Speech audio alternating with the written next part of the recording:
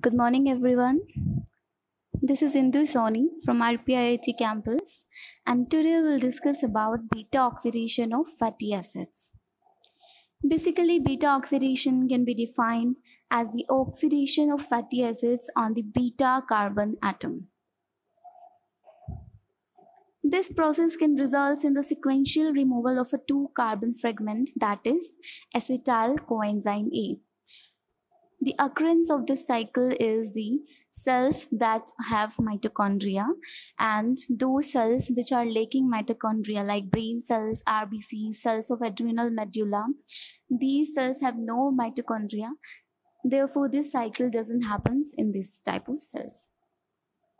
This is journal question why it is called beta oxidation. Because Chain here in fatty acids is broken down between alpha carbon and beta carbon, so it is called beta oxidation. Basic stages of beta oxidation of fatty acids are First one is transport of fatty acids from adipose tissues to target cells. Target cells basically are those cells which have mitochondria. Okay. So transport of fatty acids from adipose tissues to target cells. Then transport of fatty acids into cytosol and then activation of fatty acids in the cytosol and then transport of activated fatty acids into the mitochondria and then beta oxidation in the mitochondrial matrix of that target cell.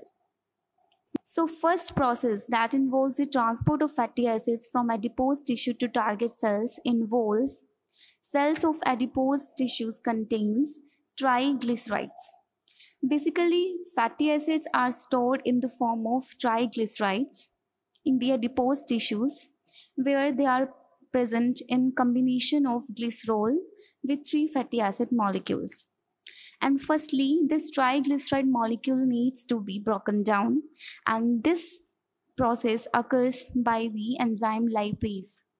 This enzyme lipase breaks bonds between glycerol and fatty acids and every time releases a single fatty acid molecule into the bloodstream. Second step involves the entry of these free fatty acids into the target cells. The cells having mitochondria act as target cells. These free fatty acids enter the cytoplasm of target cells through fatty acid transporter molecule. Then third step involves the activation of free fatty acids in the cytoplasm of target cells. This can occur at many places like outer membrane of mitochondria, endoplasmic reticulum, and some peroxisomes. This process can occur at any of these places. Here, free fatty acid molecule in the presence of acyl coenzyme A synthetase by consuming 1 ATP produces acyl coenzyme A, that is the activated form of fatty acid. And this is the only form that can be metabolized inside mitochondrial matrix by the enzymes that are present in the mitochondrial matrix. Once activated, free fatty acids are transported to mitochondria. Fourth step involves the transport of activated fatty acids to mitochondria. First of all, acyl coenzyme A can easily transport through the pores of outer membrane of mitochondria, but not through the inner membrane. So an enzyme that is present here in the outer membrane is CPT1 that is carnitine palmitoyl transferase 1. This enzyme converts acyl coenzyme A to acyl carnitine that can easily transport through inner, inner membrane of mitochondria. Another enzyme, namely CACT, that is carnitine acyl carnitine translocase.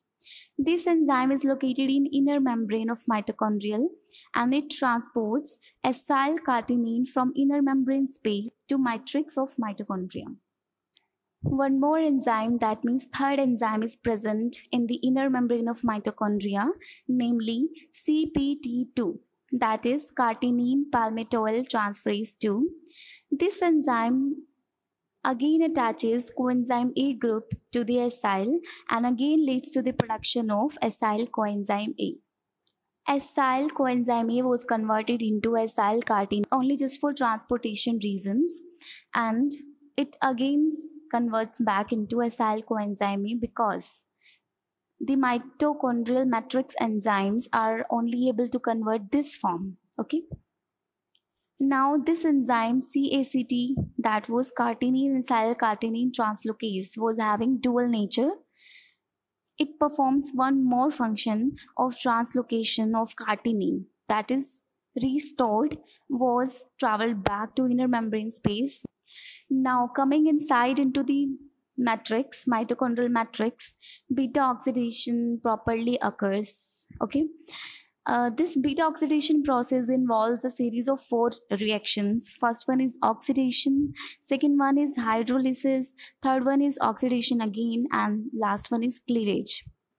In each cycle of these four reactions, a two carbon molecule that is acyl coenzyme A is released along with one molecule of acetyl coenzyme A, one NADH, and one molecule of FADH2. Therefore, for a 16 carbon molecule like palmitoyl acid, this cycle of four reactions is repeated seven times. And for a 14 carbon molecule like mysterol acid, this cycle is repeated six times. And for 12 carbon molecule like lauryl acid, this cycle is repeated five times and so on. One cycle of oxidation of fatty acid produces 1 NADH, which is equivalent to 2.5 ATP. One FADH2 molecule, which is equivalent to 1.5 ATP, and one acetyl coenzyme A is equivalent to 10 ATP. So you can count the number of total ATP production for different fatty acid molecules according to the number of carbon molecules. Okay. So it was all about beta oxidation of fatty acids. I hope this video will work for you. Thank you and also don't forget to subscribe to our channel that is RPIIT Academics for more videos like this.